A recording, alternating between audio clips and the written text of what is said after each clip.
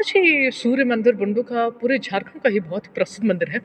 अच्छा अ, सूर्य जयंती पर ज़रा विशेष बताइए कि सूर्य भगवान कैसे जन्मे थे क्या इनके माता पिता भी है? बहुत कम लोग इस बारे में जानते हैं ज़रा बताइएगा।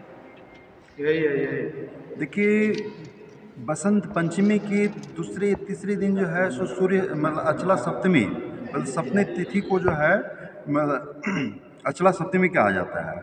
और अचला सप्तमी जो है सो भगवान सूर्य का जो है, सो मतलब लंकोदय में, जो चूँकि लंका में भगवान सूर्य जो है, सो दृश्य हुए थे, इसी कारण से जो है, सो मतलब ज्योतिष गणना जो है, सो लंकोदय मान के हिसाब से जो है, सो मतलब गणना करते हैं। और तब से जो है, सो मतलब सृष्टि का जो है, सो मतलब भगवान सूर्य का जो है, सो है। और इनकी माता कश्यप ऋषि इनके पिता हुए अदिति इनकी माता हुई अच्छा। और इनके पुत्र भी कोई है क्या?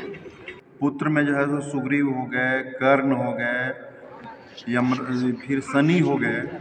ये सब इनके पुत्र हैं? पुत्र हैं। अच्छा।